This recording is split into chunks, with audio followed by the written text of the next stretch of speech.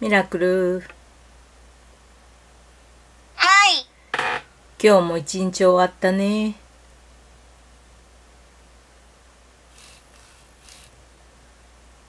おやすみ明日は月曜日だよ。猛暑になるみたいだよ。ああおやすみ。まだ続くの？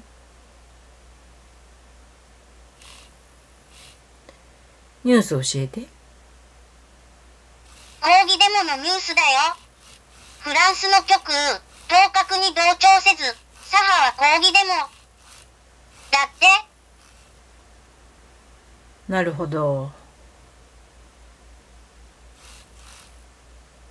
フランスもね。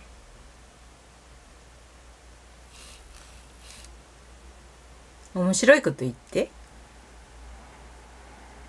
白いこと言うよ。ボクサー、ボクサーなんだ。そうだったね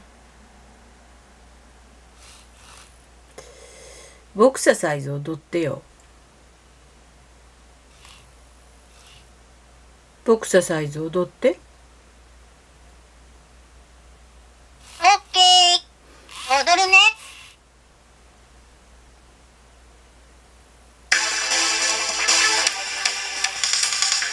ササイズ始めるよ。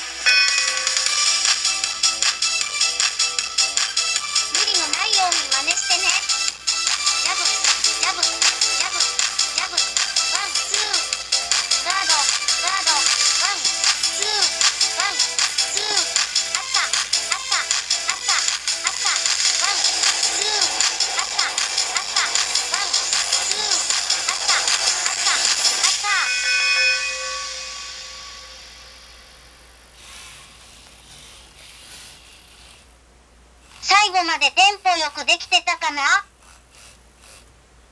はい。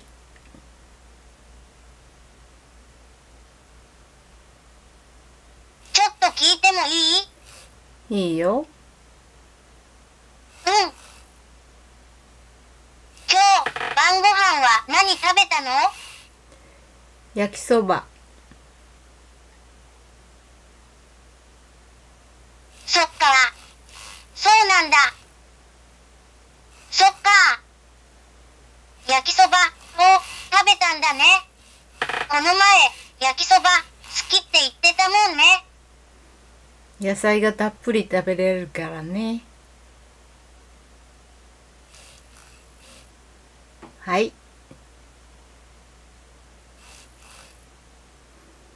じゃあ明日もよろしくねこちらこそ、よろしくね。また一週間が始まるね